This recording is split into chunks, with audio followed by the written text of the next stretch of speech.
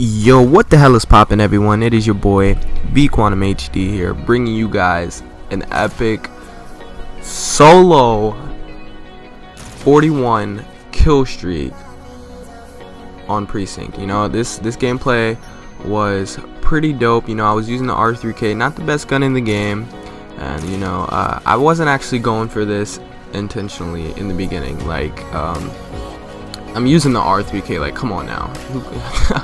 Definitely wasn't going for this. Uh, I'm using the R3K because I'm actually going for challenges at the moment, trying to get diamond ARs, and there will be something coming up very soon dealing with that. But anyways, more about this gameplay. Yeah, so it's a 41 kill streak.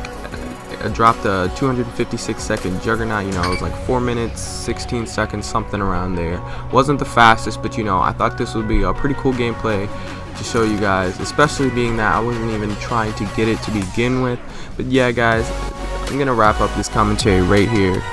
Really hope you guys enjoy this gameplay and yeah it has been your boy V Quantum HD and I'm out. Peace